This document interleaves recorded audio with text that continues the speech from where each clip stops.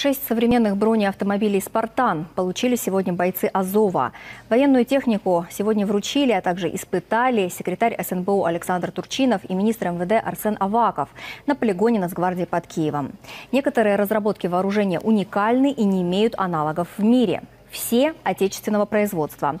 Испытания техники видел Виталий Тарасов. Это бронеавтомобили «Спартан». В зону боевых действий подобные машины отправляли и раньше, но эти особенные. Все новые автомобили «Спартан» оснащены уникальным боевым модулем. Кроме крупнокалиберного пулемета, здесь установлены еще две радиоуправляемые ракеты. Они способны поражать военную технику соперника на расстоянии до 5 километров. Система называется «Сармат», способна поражать не только живую силу противника, но также тяжелую бронетехнику и вертолеты. Нет аналогов, это абсолютно новая техника. Это семейство «Стугна», это производство наше украинское, и сейчас это поставлено на поток новые, новые типы ракет, которые будут очень уместны сейчас. Это вновь произведенное новое вооружение, которое буквально было отработано в последние месяцы. На полигоне журналистам демонстрируют стрельбу в движении из выбранной позиции. Машина до боя готова. Проводим огонь.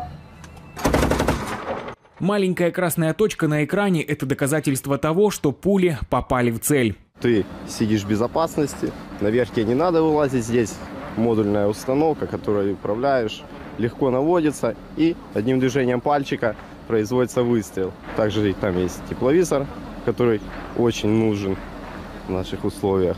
Ракетами сегодня не стреляют, да и систему управления пока не демонстрируют, говорят, не для посторонних глаз. Но на словах просят поверить. Оператор с точностью до нескольких десятков сантиметров может поразить технику противника.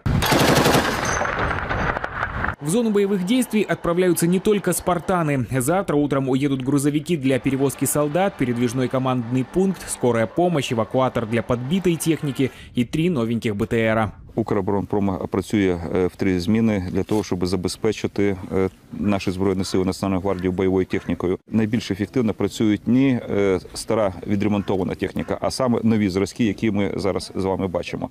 Тому що нова техніка є нова техніка, і особливо та нова зброя, якою ми зараз цю техніку оснащаємо. Всего в полк Национальной гвардии «Азов» из Новых Петровцев завтра отправят 19 единиц техники.